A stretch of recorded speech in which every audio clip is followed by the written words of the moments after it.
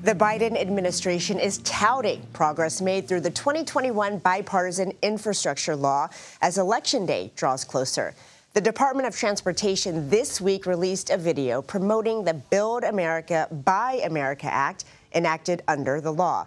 It requires all federally funded infrastructure projects to be built with American made materials. According to the White House, more than 50,000 projects are currently underway. Joining us now, U.S. Transportation Secretary Pete Buttigieg. Secretary, thanks so much for being here with us. Good to be with you. I want to talk about your department's focus on the Build America, Buy America Act, but I have to start with today's big news out of the Supreme Court. What is your reaction to the unanimous ruling that preserves access to mifepristone for so many women across this country? Well, I know there's a measure of relief about the ruling. Unfortunately, it doesn't change the bigger picture that the uh, right to access to abortion in this country under Roe versus Wade uh, is over, uh, was ended by the Trump administration and the court that it created. Uh, and that withdrawal of rights and freedoms from millions of women across America uh, continues to create these vulnerabilities where there are questions over uh, the availability of medication, the availability of birth control, and we're seeing continued conservative efforts to attack IVF as well. Uh, we're really living in a new era, and it's one of the reasons our administration is committed to making sure that women's health care, uh, women's rights, and women's access to abortion continues to have as much support as possible under the law. And turning back to the Build America Buy America Act, obviously you have been talking about different parts of the infrastructure law. Why is your department now focusing on this particular piece of it? Well, we want to draw attention to uh, another benefit of all of these infrastructure projects that sometimes isn't as well publicized. Obviously, when we build a bridge, when we expand an airport, when we deepen a port, uh, the completion of that project marks a benefit for everybody who is going to use it or count on it. But even while we're still building it, while that construction is going on, and all across America we're seeing a lot of construction going on right now, that's creating a benefit too because of the good paying jobs that it creates. President Biden's focus on the Buy America concept and the, the law behind it, being the Build America, Buy America Act, uh, makes sure that American taxpayer dollars go to American projects, uh, products. Uh, that the uh, uh, everything from uh, the, the services that, that go into a, a, construction effort to the steel is made in America. One of the things that I was able to do just a few days ago that was so moving uh, was to go to Steelton uh, to spend time uh, in this Pennsylvania community with the workers who literally make the railroads that America's rails run on. They can take one look at a rail and just by eyeballing it, tell you whether it's going to the metro system in DC or an Amtrak line uh, in, uh, in the West.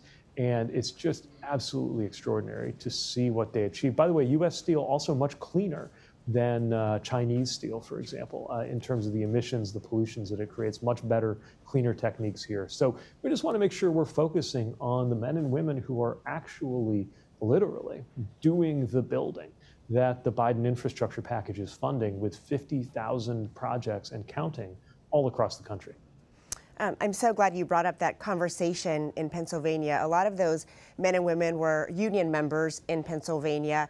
A recent CBS News poll shows that while the president is leading Trump among union households in Michigan, they are tied in the Keystone State. And I, I wonder why you think that is, and if you're doing anything in particular to reach out to those voters.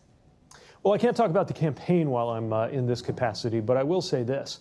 Uh, President Biden is proud of this administration being the most pro union administration in modern American history, including making history by being the first sitting president to go out to a picket line when he stood with the UAW workers in their quest for the historic contract that they won.